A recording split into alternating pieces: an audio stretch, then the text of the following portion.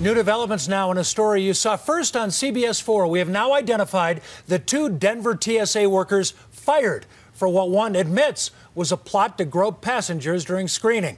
Both are in their 20s with no criminal records. Our investigator Brian Maass broke the story of the fondling, and you have now contacted those who got fired. Have been in touch, and uh, both of them are under investigation by the DPD, the Denver Police Department, mm -hmm. and the DA's office as well. They could face criminal charges for what they did while working for the TSA at Denver International Airport. The TSA fired Ty Spica and also fired his coworker Yasmin Shafi for their actions while manning security lines at DIA.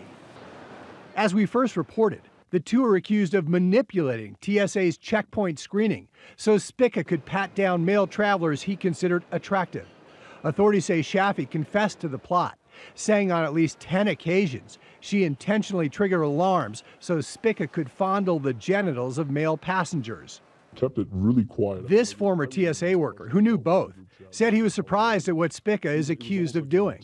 Did you ever get any sense that he wanted to do something like this? No, never. You know, it's in all my interaction with him, never. You know, he always seemed like a straight shooter guy. You know, always did his business and kind of handled it the way he was supposed to. But yeah, never got that kind of vibe from him. You know, never got a bad vibes, anything like that from him. Spica, who is 27, is from Nebraska.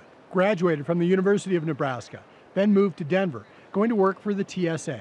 He has no criminal record and has not responded to text messages or phone calls.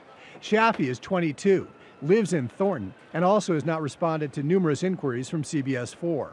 Her family says she now has another job. TSA and law enforcement sources identified Spica and Shafi. Groping takes place at uh, all the time at all airports. Uh, it doesn't happen to every single passenger, uh, but it does happen on occasion. Douglas Kidd, president of the National Association of Airline Passengers and a critic of TSA, said he was not surprised at what the CBS 4 investigation uncovered. It happens at Denver, it happens at uh, Phoenix, it happens at Washington. You have, uh, you know, employees everywhere who are not properly supervised. TSA has been largely mute about what we revealed, calling it egregious behavior. Also not talking, the two former TSA workers who may soon have to answer criminal charges about their conduct when they were supposed to be ensuring the safety of the flying public.